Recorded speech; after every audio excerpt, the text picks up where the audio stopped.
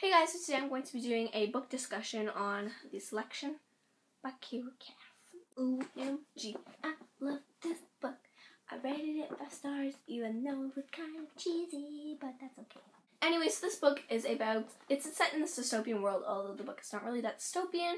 And to the prince, to find a wife, he has this process going on called the selection. So 35 girls are chosen, and they all compete to win Maxon's heart which leads to the crown, of course. So they want to be the next princess of Ilea, Ilea, I don't know. Country, it's like the new America. And our main character, ironic, her name is um, America Singer. So she's also a singer.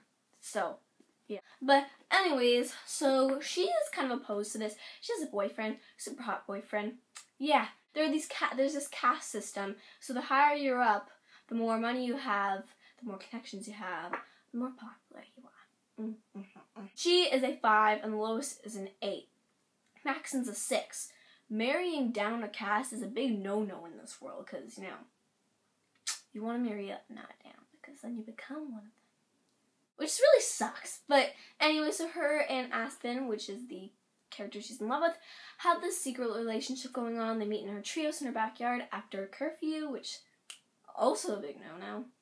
And in this modern country, there are really a lot of rules. You can't get pregnant before you're married because then the, they can actually like kill you or something. Which it's already to get like bad to get pregnant before you're married. But let's not go into this. Anyways, so there it's a really strict country, really strict rules.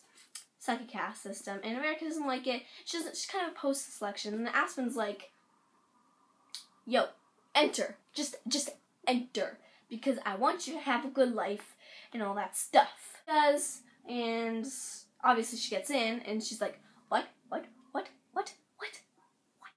And then so she's she's all she's surprised, right? Because like why why out of all the people who signed up, she got chosen, and everyone's like, oh, it's random drawing, but it's not. The king actually handpicked all these girls, and he just needs some extras, so he picked America because obviously he thinks she's not gonna win. Well, haha, in your face. But anyways, we obviously know she gets to the elite because haha, that's the title of the freaking second book. But anyways, so yeah, she goes, she gets in, and her and Maxon, I love the part where she meets him in the yard and she's all angry, and he's just like. He was really cool during that scene, and I really liked America because she's like, "Oh, he's a prince, but I don't care because I'm my own person," and I really like that.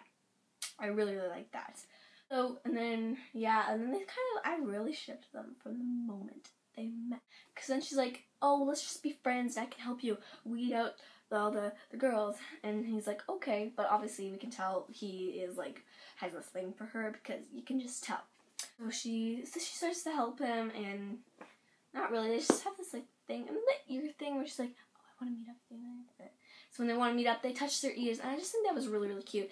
And I really like that. I like that. I liked it a lot. We have Celeste, who is a biatch. There's no doubt about that. She's like, especially that part where they were about to go on Gav- Gavril Fadaye's show, and then the report, and then they're like, and then she's like, take off your dress. Just, just take it off. And then she rips it when America says no. I was like, what the heck is wrong with that biatch? But then I, I don't know, some parts I hated her, but then other times it's just, it's like, she's a good character to have in there. So then we have Marlee, who is America Singer's best friend in this selection. Oh, I love Marlee, she's an awesome character. And then we have all the other girls, I'm kind of indifferent to them. My opinions change when I read the second book. But yeah, I'll talk about that in my elite discussion. Full discussion. And then how Maxon just comes back and expects America to immediately come back to him. I was like, no, Aspen, that's not how it works, because he broke up with her and he can't just go back. And I really hate that. I really hate Aspen. Oh, die, Aspen, die. I don't want Aspen to die, but I think he's gonna find someone else that's more suitable for him. And America's gonna marry Maxon. That's the end. America, Maxon, Aspen, unknown person. Yeah. I saw Christine at Books. Or she said that Aspen will probably get married to Lucy, and the, who are America's maids, and I think that's true.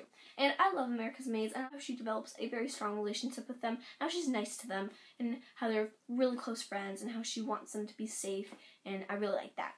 So yeah, thank you guys for watching my spoiler-filled discussion about the selection by Kiera Cass. I really hope you like this discussion, and I'll see you guys soon. And I think I went over all the points of this book. I probably missed some, but yeah. Oh, and so thank you guys so much, and I'll see you guys next time. Bye!